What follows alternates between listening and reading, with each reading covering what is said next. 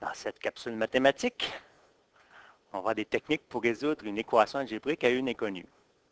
L'exemple comprend x plus 5 égale 8. Il faut trouver la valeur de la variable x qui permet de conserver l'égalité entre les deux côtés de l'équation. On reprend l'équation. On va comparer l'équation à une balance à plateau. Sur une balance à plateau, j'ai deux plateaux à égalité.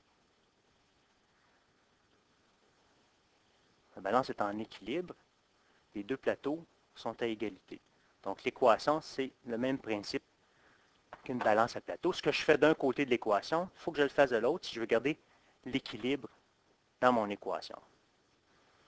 Je réécris l'équation. x plus 5 égale 8.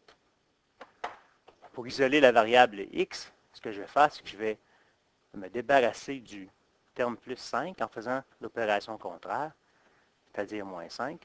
Ce que je fais d'un côté, je dois faire la même chose de l'autre côté, si je veux conserver l'équilibre.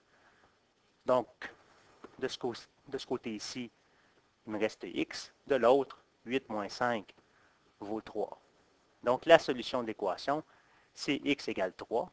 Si je vérifie dans l'équation initiale, 3 plus 5, ça donne 8. J'ai 8 de chaque côté. La solution, c'est 3. Alors ici, on va voir une deuxième façon de procéder. On va euh, devoir se créer ici sur notre égal. On va on va faire, on va s'imaginer qu'il y a une clôture. Donc d'un côté, il y a un terrain, de l'autre côté, euh, un autre terrain. Donc nous, ce qu'on va avoir du côté gauche, c'est seulement le terrain qui comporte les variables, c'est-à-dire la lettre ici, c'est la lettre X. Donc on ne veut pas avoir de termes constants. Donc on va avoir seulement les nombres à droite les termes constants. Donc ici, on a un plus 5 qu'on ne veut pas avoir du côté gauche de la clôture, on veut l'apporter de l'autre côté.